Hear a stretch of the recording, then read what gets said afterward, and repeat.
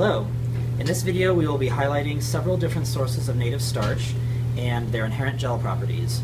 We will especially be focusing on the color, clarity, and texture of each gel and how they differ depending on the botanical source. We will start by cooking the starch in water at a ratio of 95% water to 5% starch until the mixture boils. So we already have the water and starch all weighed out.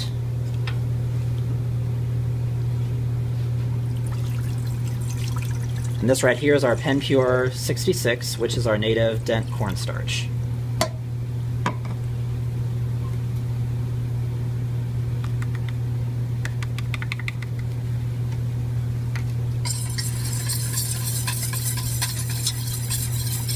so we'll mix it here and then we'll walk all over to our stove. And we'll start cooking it right here.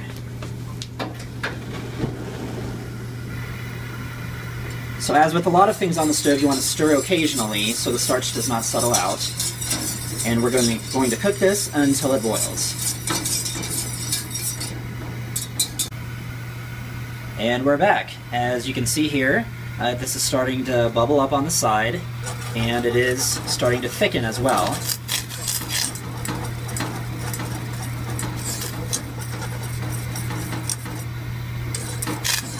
And we will Continue to heat and stir until this reaches a rolling boil. We have a total of six native starches that we are going to show, and we will show those after this. This is the only one we're going to show actually stirring though. Now you see, you can clearly see that it's a much thicker mixture now than it was a few minutes ago.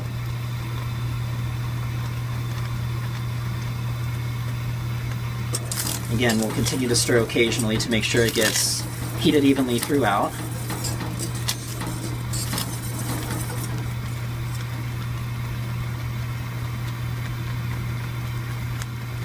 And now you can see it's at a full boil.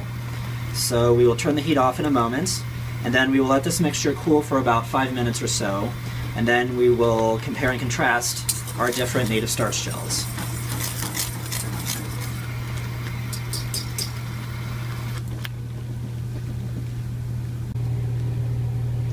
The first starch gel we're going to show you is our Pen Pure 10, which is our native potato starch.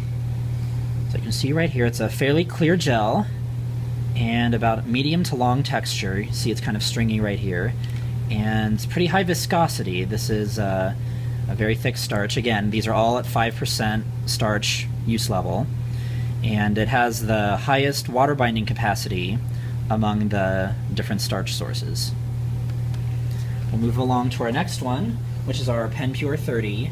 This is our native regular rice starch. As you can see, it's fairly opaque, forms a very white color. Much like the potato, this has a very neutral flavor. However, you look, you can notice it has a different texture. It's kind of lumpy, and it's very short. It's not stringy like the previous one.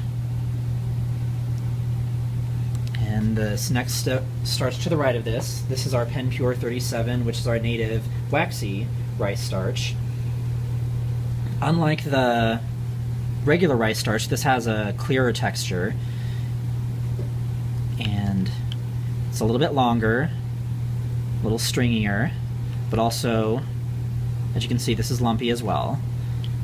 And a little bit thicker than the regular rice also. Next one over, this is our PenPure 50, which is our native tapioca starch. This one is a fairly clear gel, as you can see. Has a bit of a color to it, and that's just the nature of tapioca. However, this will not show up in finished product. Um, one of the most distinguishing features is that it's a very long texture, very stringy. You can see, there you go, get a good idea of the stringiness here. excuse me, our Pen Pure 66. This is our native dent cornstarch. This is the one you saw me mix up earlier. And this one is very opaque. You can see it has a somewhat of a texture here, about medium texture. Um, it's not as viscous as, say, the potato, but you can still see it's it has formed some viscosity. unlike the other starches, which have very neutral flavors, this does have a distinct corn, a little bit of a cereal note to it. And then the last starch we're going to show you, this is our Pen Pure 70. This is our waxy corn starch. You can see this is much clearer, much more transparent than our Pen Pure 66. Um, this also has a slight corn cereal flavor. It has a bit of a stringy texture, definitely a little bit longer than the 66, and it's a little lumpy as well, kind of like the waxy rice. So what we are going to do now is we will put the, all of these jars into our refrigerator, let them sit overnight, and we will evaluate them tomorrow morning um, to give them a chance to fully retrograde. All right, it's been uh, 24 hours since we put these samples of starch gels into the refrigerator, and now we are going to see what they look like after spending this time at refrigerated temperatures. We will start again with our Pen Pure 10, our native potato starch. You may remember from yesterday that the gel was fairly clear. As you see here, it's very opaque, so that has changed. And take a look as I take some spoonfuls of it. The texture is much thicker, it looks almost like jello, and is very short now. And this is, again, the nature of potato. It just forms a very firm and short gel, gel texture after cooling. Moving on to our Pen Pure 30 regular rice starch. At first glance, you can see that this is softer than the Pen Pure 10. It's almost a jelly-like texture. The color is still fairly the same as yesterday, a nice white color. Still a short texture, not quite, again, as thick as the Pen Pure 10. We can give an idea of how it looks. Moving on to Pen Pure 37, uh, waxy rice. It's still fairly transparent, and uh, the nature of waxy starches there are 99% uh, amylopectin, and as a result, it's a very soft texture. As you can see here, it's softer even than the regular rice. Uh, and watch this, I'll take some spoonfuls of it. So you can see it does have somewhat of a longer texture, and this is due to the high amylopectin content as well. Moving on to Pen Pure 50, our tapioca. Uh, you can see this is a very shiny texture, a little bit softer than Pen Pure 10, uh, the potato, but uh, still nice and thick. It has a little bit of that off-white color again, but that's, again, due to the nature of the tapioca, will not show up in uh, finished product application. Taking spoonfuls of it, you can see it still has uh, some of that longer texture, not quite as much as when it was warm, but still more so than a lot of our other starches.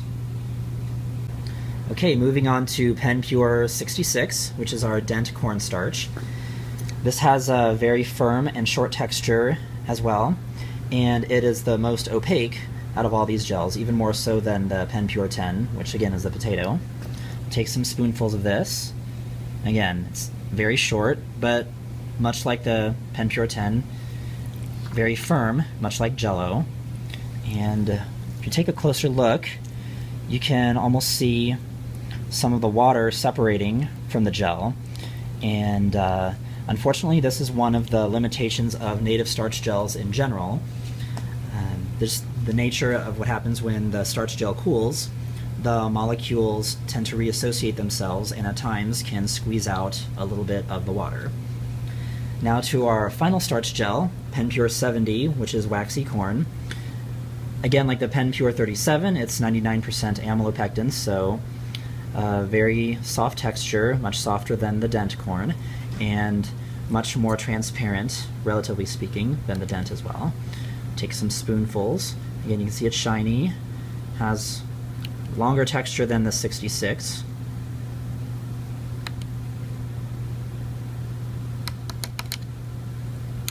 And uh, that's it. This concludes our native starch gel demonstration.